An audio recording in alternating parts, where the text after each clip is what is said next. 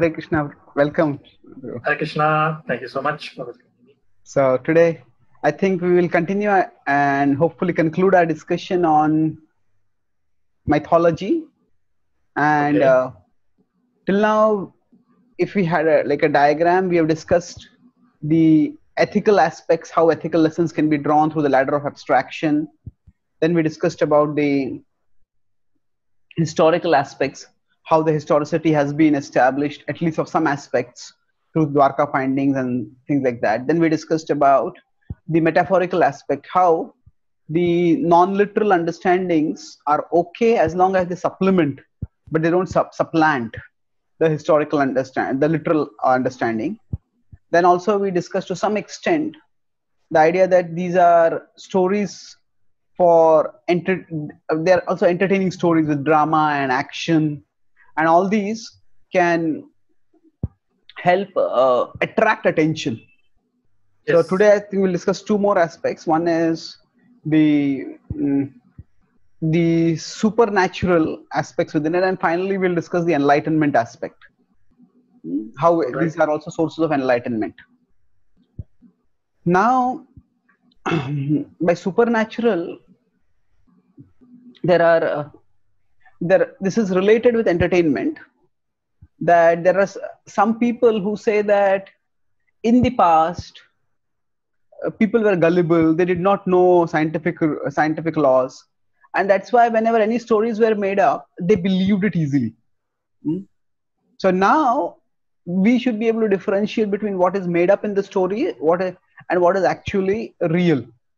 Hmm? or uh, so that these are made up stories. So now there are two aspects one is some people say that some part of the stories are made up and some people say the whole stories are made all the, the whole entire story is made up.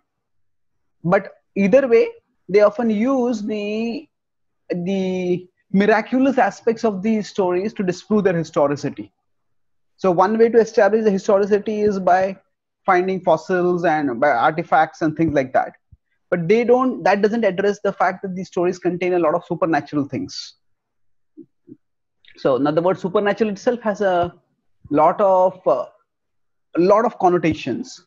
But here we will simply use it to refer to that which is not understandable by the modern laws of science by the laws of physics. Now, from our perspective many of these phenomena are not supernatural because say because they are still within material nature. But they're just not within nature as under material nature as understood through physics Just a small query. Do we also accept that uh, even modern physics, so to say, is also in a flux? It also has great minds trying to say that, okay, this was pre Newtonian and uh, this is how we understood things two centuries ago. But now we are having some people who also have established that, okay, this was seen as a particle, now it is seen as a wave. Okay, this was seen as something, now it is seen as something else. So uh, you have, I mean, just for a layman, that's can you shed some light on that? Yeah, it's a very good point. In fact, uh, quantum uncertainty and the de- way to deal with the quantum uncertainty through multiple universes has allowed what some some skeptics or atheists call as a, a backdoor entry for spirituality. so um, basically, these are very technical concepts, but briefly, No, but just, just to say, this is how they feel, this is how much they fear that in the hard, structured, Cartesian, logical world of physics, they are just wary that, you know, some of us, some, some of the weaker minds among the physicists, they Yeah. might allow some, some spirituality to some lurk in and do its mischief. just a thought. That's true. In fact, uh, there are mm, that basically what the the Newtonian physics. It's like physics and biology. If you consider, physics is considered the most fundamental of all sciences because it All right. deals with literal physical objects. uh, They exist tangibly, and then their interactions are chemistry, and interactions which involve living organisms are biology.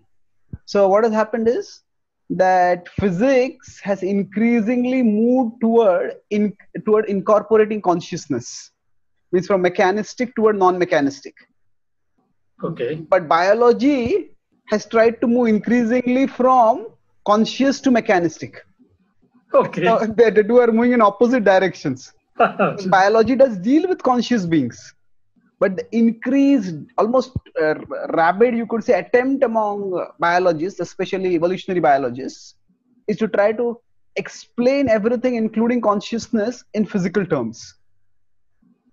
On the other hand physics itself to explain itself uh, consciousness is being incorporated.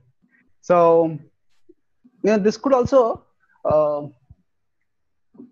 spiritual trends within science could also be a future topic for us to discuss actually oh yeah. so but You know, it so happens that some of our topics get incubated and generated within the conversation itself. yeah that's true so just to recap Yeah. so- Coming back to our track. no just but but this could also relate with us so quantum i have seen at least two three devotees as well as several christian scholars talk about how quantum physics talks about multiple universes and multiple levels of reality. Just like you perceive things from one perspective it's the it's a wave. Another perspective you perceive it's particle. So like that within mainstream science itself multiple modes of perceiving could lead to multiple perceptions of reality. That is that is has been a more or less at least an acceptable fact it's not a widely accepted thesis but that is some way uh, we could also talk about some spiritual perceptions with, which are given in our script in our tradition also. But coming back to your point that uh, there is an aspect within the within the lila within the pastimes which are which seem to be not acceptable to the logical mind. So i will give an example and i'll give an explanation. So what i'll be doing i'll give ex- example then the criticism of the explanation the de- criticism of the example and then the defense for the example. And you can add as you like. We can take it for the example Yeah. also. Say for example let's look at the govardhan leela. Now when krishna lifts up a hill as is described in the story a significantly large hill then people the logical attitude is how can anyone lift up a hill like this and oh people at that time didn't know about the law of gravity. And that's why when some stories like this were made up people just believed those stories. But now we need to evaluate the stories with critical intelligence. So there are several issues with it. First is that did the people in the past lack critical intelligence? Because when krishna lifted up the govardhan hill even the vrajavasis who saw it firsthand still they had their doubts. And they, they saw it but then they asked they asked go and ask nanda maharaj how did he do it? So it is not that they were gullible and they were ready to believe anything. But then they were open for some other kind of explanation. And what was that explanation? When krishna when nanda maharaj said that actually he is narayan or he's as good as narayan because he's blessed in a particular way then then that's what that's what the uh, the sage gargamuni at his birth has told us. So then that oh okay if he's narayan then he can do such things. If he's the supreme being. So the point is that they were that they also knew how nature works. But that there might there are some forces there are some beings higher than nature who can adjust the workings of nature. They were open to that explanation one of the dogmas of modern science is the universality and the in, inescapability of the laws of nature. That the laws of nature have to work everywhere at all times in just the same way they are working on the earth.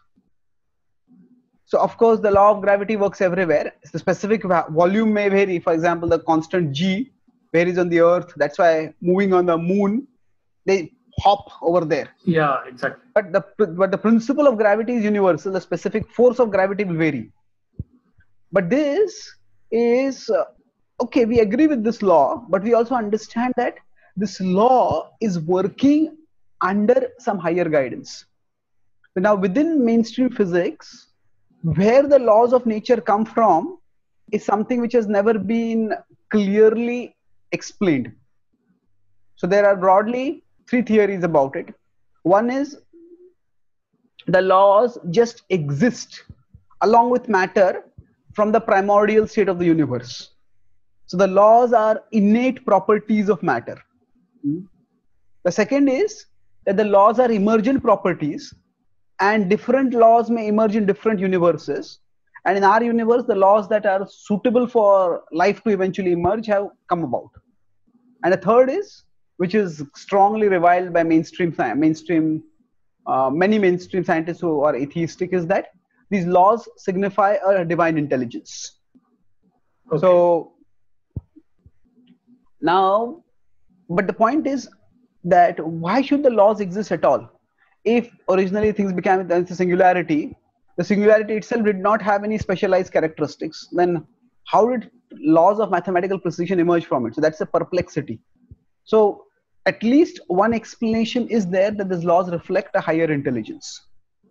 And this is not exactly the design argument because the design argument says that specific forms are a manifestation of divine intelligence.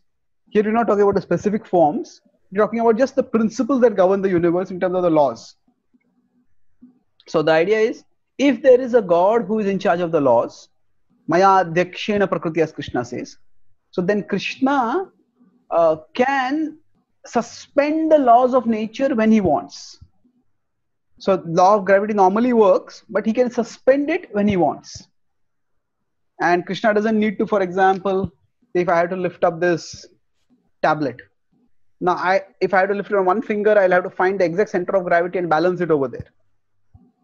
So Krishna doesn't need to find a center of gravity because he he is the source of gravity, and he can suspend gravity whenever he wants.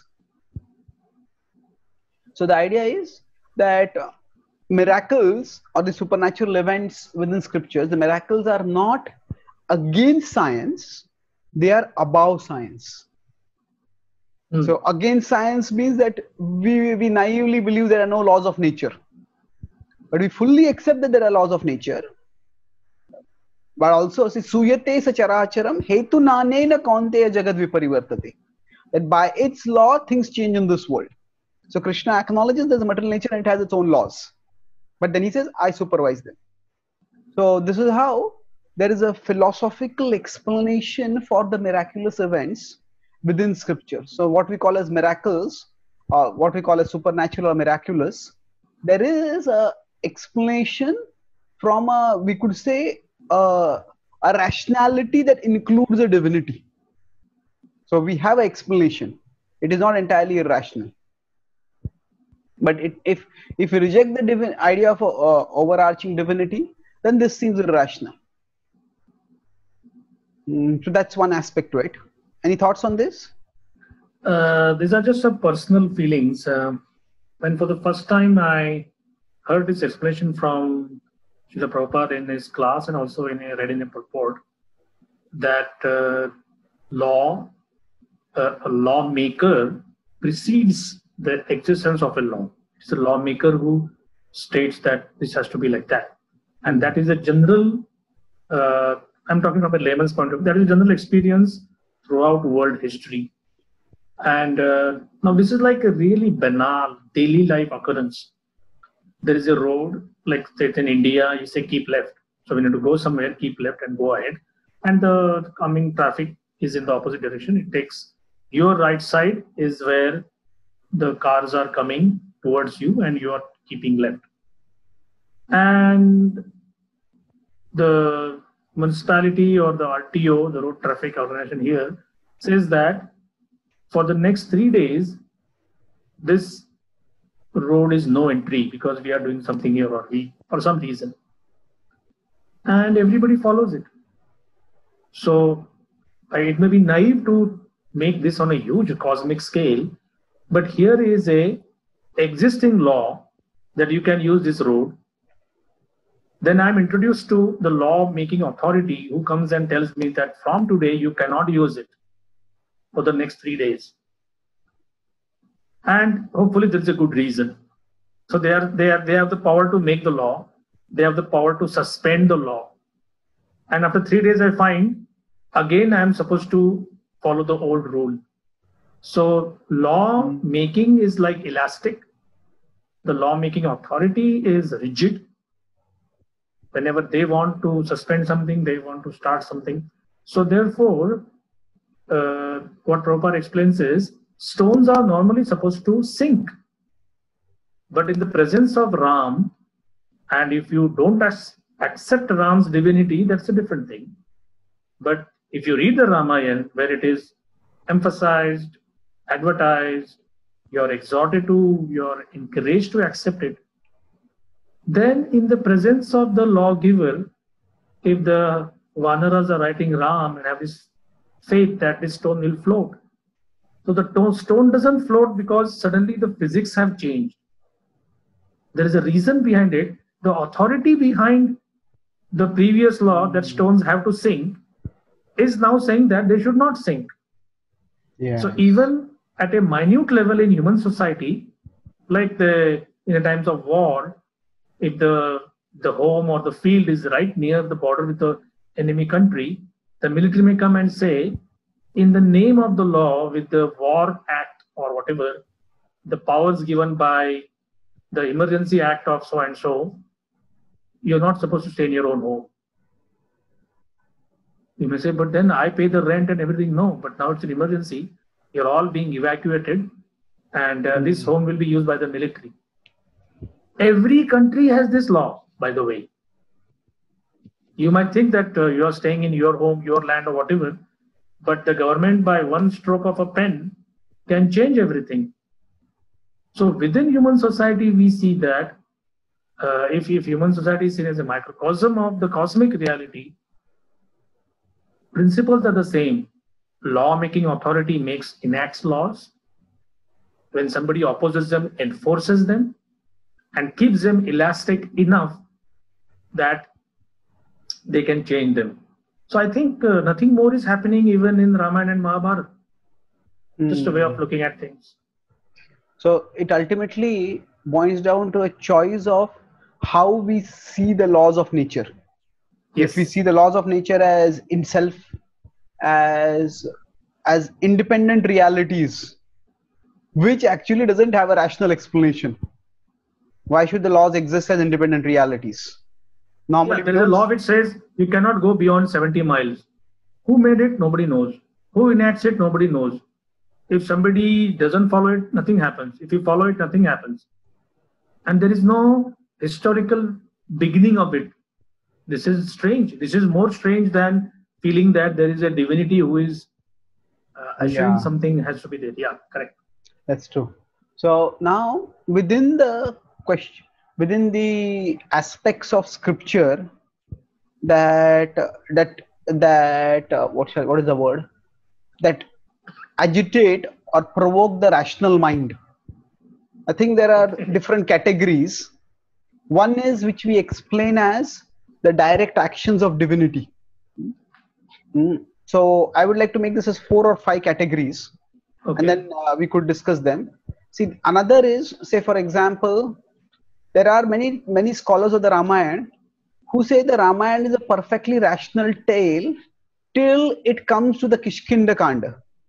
And from there it becomes like a children's fable with all kinds of animals talking.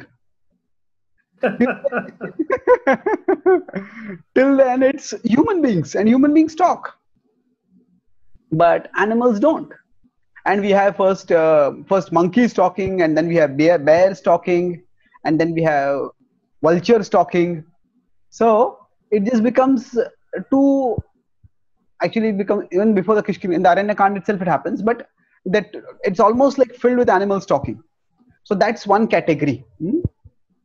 um, so now another i'll just mention the categories and then we can discuss one of them the other yeah, is sure. it is so beings acting in ways which not it's could say ordinary beings, other beings apart from God acting in particular ways. That's one aspect. Then another aspect is beings having powers that normally human beings don't have. Say for example, mm. uh, mystic powers that certain beings have hmm? shape shifting flying in the sky becoming invisible or whatever that's another aspect and another aspect is that there are there are simply the dimensions are unbelievable say for example there's a mountain which is several several miles large or there is uh, there are time spans and physical things which are huge hmm? so we look at these three things that means the abilities of beings and dimensions of script dimensions of things hmm? So first uh, with respect to the the talking monkeys. See the ramayana is quite clear that there are certain beings that the vanaras themselves are not ordinary beings. In fact the word vanara means or, or wise or nara is human, human. Or human. When people see them oh are these human beings? Who are they so that means so it is described that these are celestial apes. So the understanding is that there are different beings in the universe and some beings have the power to talk because although they may resemble uh, they resemble certain beings on the earth but they may not be those beings exactly. Another point could be that also sometimes some highly higher evolved beings take birth on the earth and when they take birth on the earth they may have higher powers so the one many of the vanas are actually celestial beings sugriva is the son of son of surya yeah. surya yeah Vali was the son of Indra. And beyond that, also some other cases when a being is able to talk, that is because they were already evolved in a previous life spiritually. Like Gajendra, when he talks and he composes Sanskrit prayers, that is because he's already a evolved soul in a previous life. And some abilities, especially those connected with spiritual reality, can be carried from a previous life to a next life. And sometimes, if some beings are able to do some things, extraordinary, that might be again directly divine intervention. So, for example, Lord Chaitanya made the animals dance and sing the Hare Krishna mantra, as it is said. Now, this is the direct action of divinity. So, that means, again, the point is, it's not that all animals are expected to talk. In, in the Ramayana and the Mahabharata, there are also descriptions when say, Sita is lost and uh, when Sita is being stolen first, Sita calls out to the animals please tell Ram, please help. And Ram asks the birds and the animals. Now, none of the birds and the animals there reply and speak in a human speech. So it's not that any and every cre- natural creature is attributed speaking ability over there. So it's not indiscriminate. So in that sense, uh, we have a particular box of rationality, but beyond that, there are other things which are also included in rationality. So that's that's the explanation for these kind of uh, beings having some special abilities. Any thoughts on this? No you covered almost everything. Okay. Now with respect to supernatural powers say for example uh, somebody can you know get there, there are there's a whole genre of supernatural power the teleportation. Somebody just closes their eyes and goes find themselves at some other place. Somebody has clairvoyance. They can look into some other people's abilities. Uh, they can they can see something invisible and know what is going on. Now these are all described as abilities at the level of the mind. So now with respect to hanuman's jumping across to lanka now it's not technically how does he do it? It is it is a combination of physical prowess complemented with divine grace. Because the various monkeys ask and they say you know i can i can jump this far i can jump this far but i can't jump this far. So it's a matter of physical prowess but hanuman is able to jump much more because he has he has got extraordinary physical prowess by god's grace. But there's a whole genre of mystic powers and in fact devamrit maharaj has written a whole book called searching for vedic india where he tries to give a lot of rational explanations for various mystic powers so when there is an encounter with beings, for example, who can say Ravana changes his form, or Maricha changes his form. So how are such things possible? Now we don't have any empirical evidence for somebody being able to change their form, but something in that direction that people do have powers. You know that there is, say, for example, if somebody has a spoon, and there are there are ways in which you can just by the thought of your mind, by by your thoughts, can actually get the spoon to bend. Now, most of this is hoax, but there are some cases which have actually been done with respect to the so basically the basic principle is without going into specifics is that the mind has powers of its own and the mind can act on matter in ways that are not explainable by the laws of physics. Yeah. And uh, probably the most uh, evident uh, or the most uh, well established evidence for this is random number generators and their study at princeton university. Basically a random number generator would generate a number between 0 to 9 with a probability of 1 by 1 out of 10 but if there is somebody who stands near that random number generator and says let 6 come let 6 come let 6 come. Now it's not that six, every time 6 will come. But the but the statistical results indicated significant increase in the number 6 if you increase if you do this probability if you do this experiment at a very high speed over large numbers. So if you do thousands or thousands of trials, thousands and th- thousands and thousands of trials, then the prob- the number six comes much more than other times. And interestingly, this happens. It doesn't depend on physical distance. So the person desiring that the random generator should give six can be in London, and this can be in Princeton. Oh, really? But still, it happens. And not only that, they find that the person can desire this on Monday and they do the experiment on Friday. And still it happens. So this is not conclusive evidence, but it is at least indicative that maybe the universe is what is that saying in uh, Shakespeare, Othello, I think? There are more things in the world than what your philosophy can comprehend.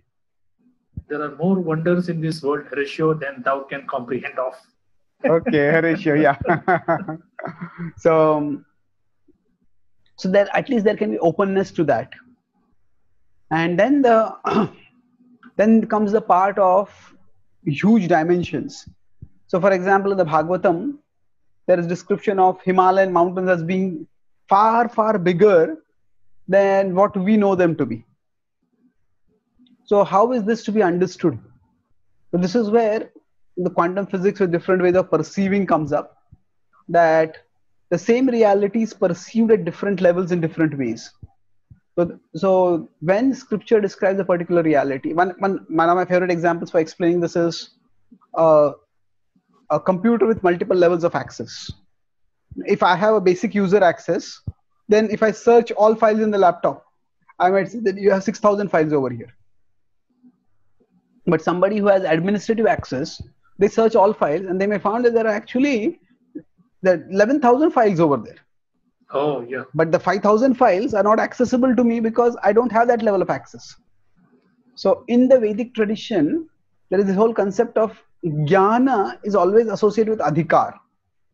Now, how much knowledge you have depends on how much authority you have to access that knowledge. Your authority means in terms of qualification. So reality is multi-level and certain certain cosmological aspects certain landmarks like the earth or whatever they can have multiple levels of uh, perception. And different people perceive it differently based on the level of their karmic qualifications. Just to add something in today's uh, world there could be say intel. Like we have both both been to intel in phoenix arizona. So a concierge, like a front office receptionist, could be allowed only in the front office area, cafeteria, and washroom. A janitor may be allowed in, say, few more areas. A scientist may be allowed in almost all areas. And few key people, maybe the top boss of that particular area, their card could open them access to each and every nook and cranny of the entire So 5,000 uh, strong uh, base there. So right from that top person to the front office receptionist, the commonality is that they're all employees, they're all part of the system. But if you tell them, describe what this facility is, obviously somebody who has access to only 10% of the area will say that this is what I know about this thing. And he's not telling the lie, but he's simply inadequate. That's beautiful. I think it's a much more accessible example than computer files. This is also about physical terrains. Yeah. yeah. That's good. And so that's that's broadly how some questionable uh, dimensions and figures can be explained. Now there is also, I think we discussed about Chitraketu and his 10 million wives, isn't it? We discussed in the first session. We didn't. We didn't. Not yet. Didn't, okay. Now there is also one more possibility. We could say that these are these are traditional literature. They are poetry. They are poem, poems. And in poems, there is a possibility for uh, for rhetorical emphasis through exaggeration. So it is not that everything which is contrary to our understanding is to be considered exaggerated, but there is a possibility that certain dimensions they are given for the purpose of emphasizing some things uh, for for the purpose of say conveying a particular reality where where the emphasis is not on the literal reality. So for example if someone there is a description that chitraketu had 10 million wives. So now you say, how is this practically possible? Now, one explanation mm. could be that if it is given in scripture, it is possible. Maybe at those that time beings had more prowess. But somebody may say logically, now how was he even able to associate with so many uh, wives? So now, if some some people might just say this is what is given in scripture, we accept it. But there is no indication in that particular story that uh, Chitraketu himself had some supernatural powers. No, he, he couldn't even have a son, although he tried to have one with so many wives.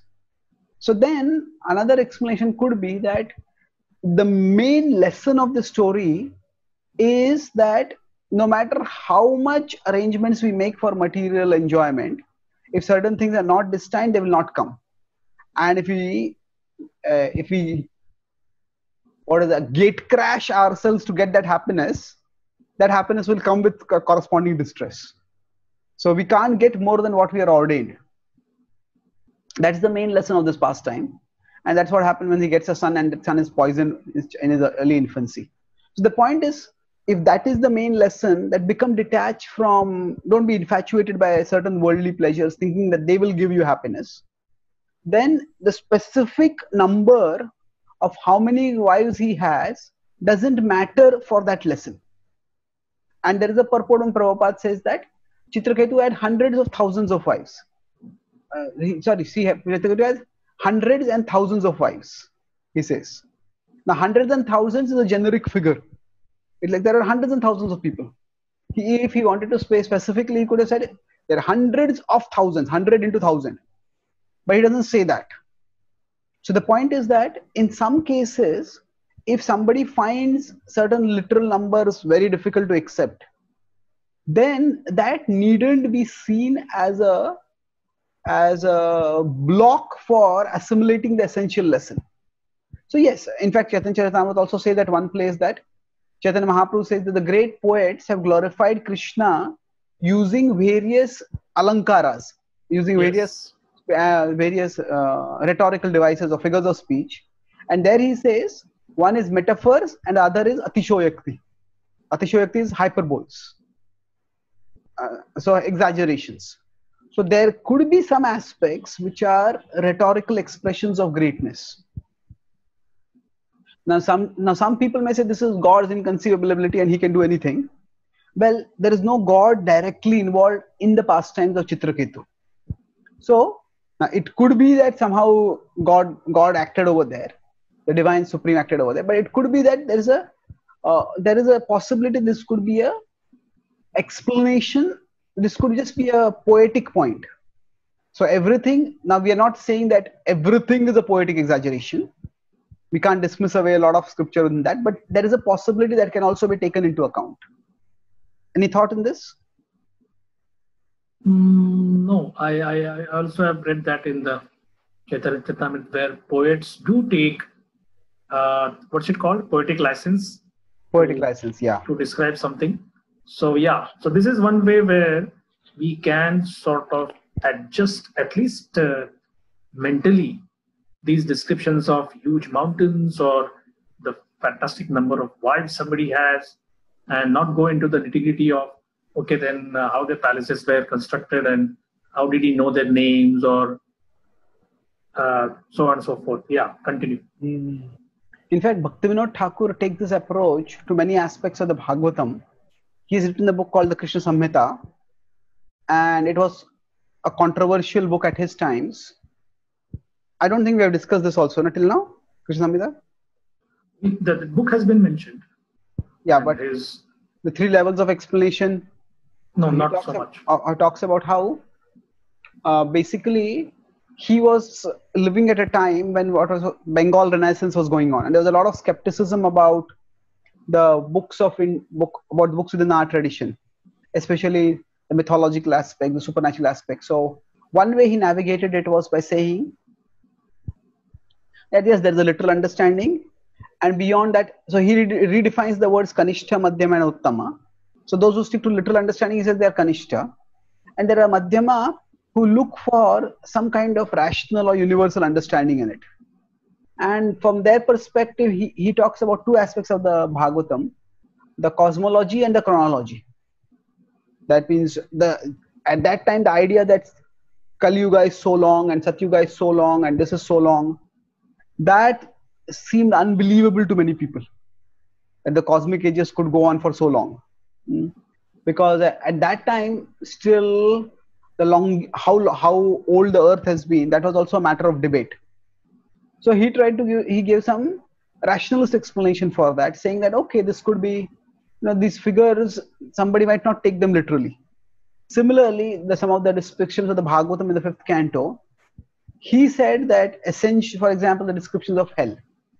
So he's made the point that the essential principle is that we are accountable for our actions.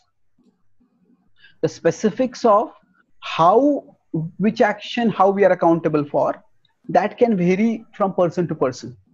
And he says that they, these could be poetic creations. Now bhaktivinoda thakur doesn't repeat that understanding in any of his other books.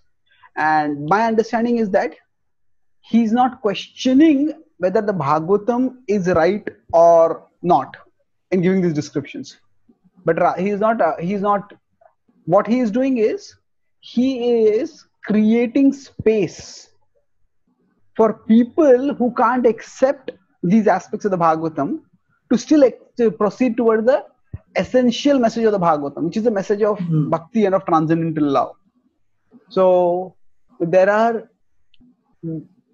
we need to see that that the what is contextual to the Bhagavatam or uh, what is not central to the core message of the Bhagavatam doesn't obstruct people from getting to its central message.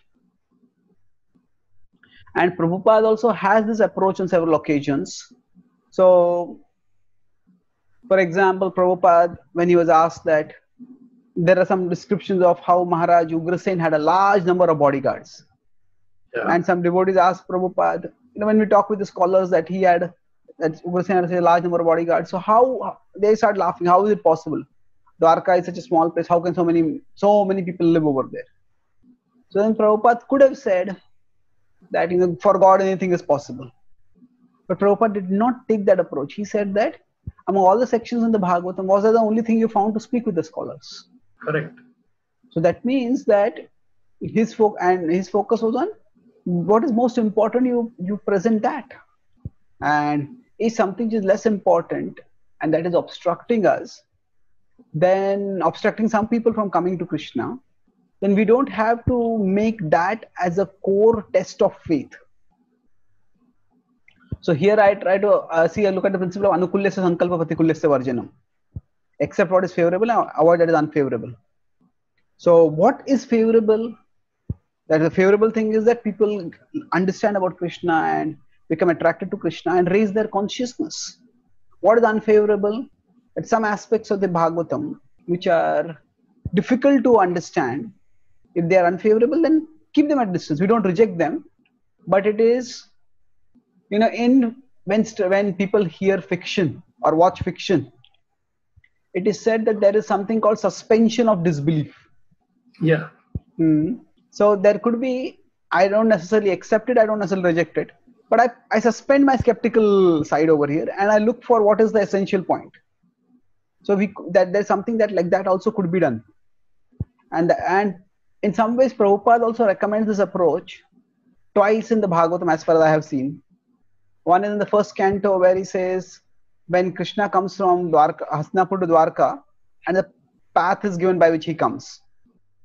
And pro, and the purports, says some geologists try to find out exact path which Krishna took.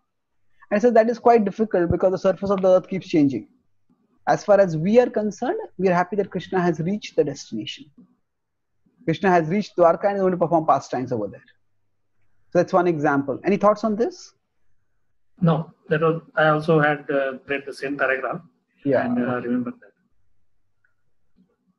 And another is even more core when Prabhupada talks about the Raslila, and he says that if you read the Raslila, the purpose of the Raslila is that we become free from sensual desire. That's the Falashruti which the Raslila gives. But if that doesn't happen to you, then Prabhupada says, don't read it. Don't read it right now. So that means we have to look at the purpose of raising our consciousness and see if reading a particular section is helping us or not. If not, then we can keep it, as they say, keep it in the ballpark, car park, a ballpark. Yeah. Just keep keep it uh, parked for some time and move onward. So that's the we could say the miraculous aspect to it. Now this took a lot of time un- unexpectedly. So we have now the entertainment aspect and the enlightenment aspect. Should we just quickly complete it or should we take it to another session? We'll take another session because this is more detail we have. Even those of our listeners can also understand where exactly we are and what point we are trying to drive. Yes. So, any generic thoughts on what we discussed till now? No, we can just uh, have a quick recapitulation. We'll take the, the next two parts the next discussion. Okay. So, uh, if we discuss a six part of study of mythology, the ethical, there is the uh, historical, then there is the metaphorical, which we are discussing. Can we have a visual next time before we begin? Can we have a visual yeah, I'll do that. I'll do that. I'll do that. Yeah, yes. yeah. Then there is the so today what we discussed was the miraculous or the supernatural, and uh, then next time we'll discuss the entertaining and the enlightening aspect of it. So now within the miraculous, we discussed uh, broadly the miracles which God has performed directly. They are those are miracles are not against science; they are above science because there is the laws of nature which are violated by miracles. Uh, how do they? Where do the laws of nature themselves come from? So we could say a more rational explanation is that the laws of nature come from a lawmaker, and that lawmaker could suspend it temporarily. And beyond that, so that is directly what God does. Then we discussed about how some beings seem to have abilities which ordinary be- which beings in our experience don't have.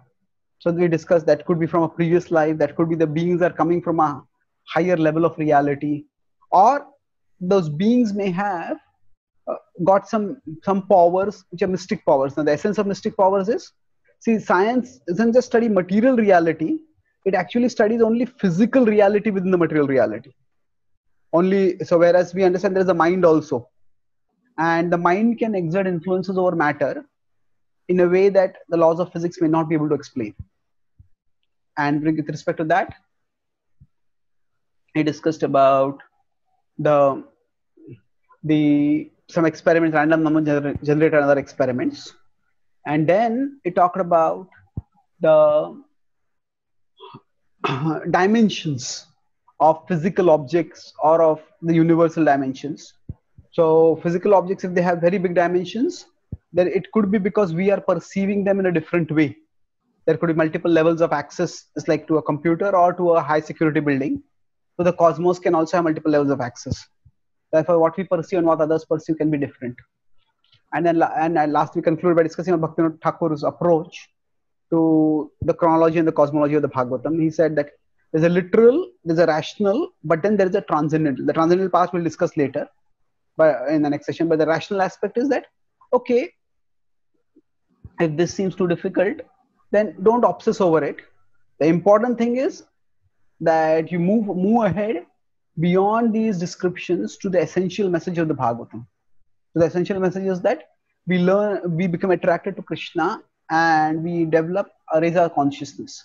So if certain details are obstructing us in that, then we can temporarily put them aside, suspend disbelief, and move toward the core message.